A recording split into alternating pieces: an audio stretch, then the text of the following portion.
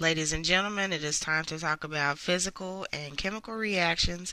In particular, we're going to focus on chemical reactions. That is our TEK for 8.5E. Here what your Cornell notes look like. Remember, it's your job to get all of this filled in. Um, please pay particular attention to some of you are not filling in stuff that's found on the left, so make sure all that stuff gets filled in. Alrighty, so our first question, so this is question number one that you see off to the side, is what is a physical change? Well, this is kind of review for you guys, so you should remember this stuff. And so on the right it says that a physical change alters the form of a substance, but does not change it to another substance. So let's look at this example. On this example, which you should write down in your notes, you could write making orange juice. My bad, guys. You need to write making orange juice. Okay? If I squeeze the juice from the orange, it's still an orange. I have not changed the atoms. It has not gone through a chemical reaction like we practiced with equations last week. Another physical change could be turning ice to water. A lot of people sometimes think that that's chemical. It's not. Ice is just frozen water. Water is liquid water. Both of them still have a formula of H2O. So that's another common example you need to remember. Alrighty. Question number two is what is a chemical reaction or pretty much talking about chemical changes. So it says that when a substance undergoes a chemical change, it is changed into different substances with different properties. Okay? So if you remember when we did the video of me talking about baking the cake. The cake that I talked about, I said that the reactants was on your left, I said that that was your ingredients. That was mixing things together. Then you were going to yield your product, and there it is, your beautifully baked cake. I did not draw this picture this time. I would love to take credit for it, but I thought my cake was pretty awesome. So make sure you write down your baking cake example. All right, next we have the six signs of a chemical reaction. So we're going to talk about these six indicators quite a bit. And so these are things that you're just going to have to memorize.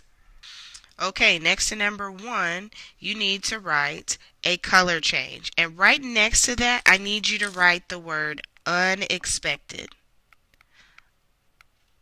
unexpected color change. Okay, so it's kind of like if you mix together two clear liquids and it turns blue.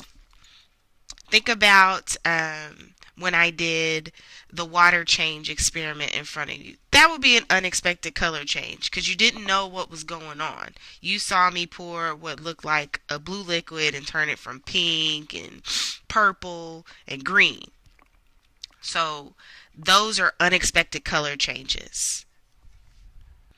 The second indicator or sign of a chemical reaction is going to be the formation of a precipitate. Now, a precipitate is a solid. Okay. Now remember, we want to focus on eighth grade words. So the eighth grade word is precipitate, not like it sounds like precipitation, but it's precipitate and it means solid. So it's kind of like if I pour two liquids together and then they solidify. Alright, so if you look here, down here in the bottom of this test tube, that is a precipitate. It is a solid. Alright, number three is going to be bubbles, gas, or fizzing. Okay, so if you look at these examples here, I've got bubbles going, some kind of fizzing going after these two things are combined. That's another example of a chemical reaction. Alright, the next thing is going to be a temperature change. Sometimes the temperature change is expected, but sometimes it's unexpected.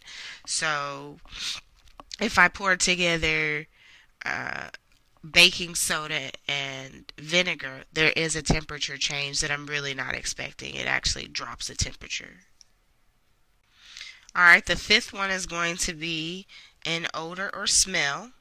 Okay, if it gives off some type of odor, you know that a change has gone through. So, like you have these rotten bananas here, this delicious looking baked bread. Okay, those are odors that are given off that indicate a change. And your last example is going to be a release of light. So if you look here, you've got fireworks, and this shows you the breakdown of a glow stick. So if you didn't know that inside you've got this small piece of glass, it says it has a hydrogen peroxide solution, and then the outside has a little fluorescent dye in it. Okay, once you break it, so like you break the plastic part here, once you break it, um, you've got a release of light. And so there is your chemical reaction for that. And ladies and gentlemen, that's pretty much it. Make sure that you read the board if you're in class for your next assignment. And if you're not in class, make sure you're ready for class. Ta ta.